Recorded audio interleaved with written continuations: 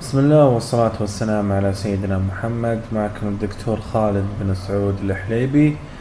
راح إن شاء الله راح نتكلم في هذا الدرس عن آه، أهمية الفحص ومراجعة الطبيب آه، المتخصص أثناء فترة الحمل للمرأة الحامل.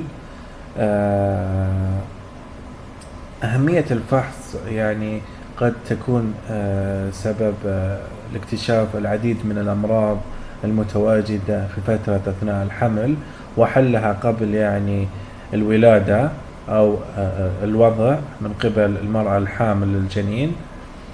وأيضا ممكن الكشف عن نوع من أنواع عيوب آه، الأنبوب العصبي مثل الانقسام العمود الفقري كما يعني يمكن أن يكشف الطبيب عن الحمل المتعدد بناء على نتائج التحاليل آه، التي تم آه، يعني أخذها من الاختبارات.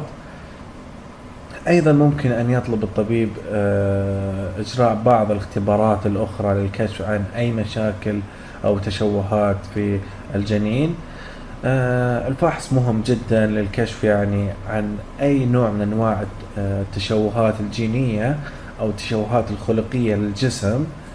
وأي اضطرابات قد تحصل للجنين مثل اضطرابات مثل أزمة داون أو السبقي آه، 18 أو أي نوع من أنواع الاضطرابات مثل آه، نقص المناعة البشرية آه، أي نوع من أنواع يعني الاختبارات ممكن تؤدي العديد من النتائج الهامة جدا للمرأة الحامل وللجنين أيضا. إلى هنا انتهى الدرس. كان معكم الدكتور خالد بن سعود الحليبي وإن شاء الله نشوفكم في درس قادم.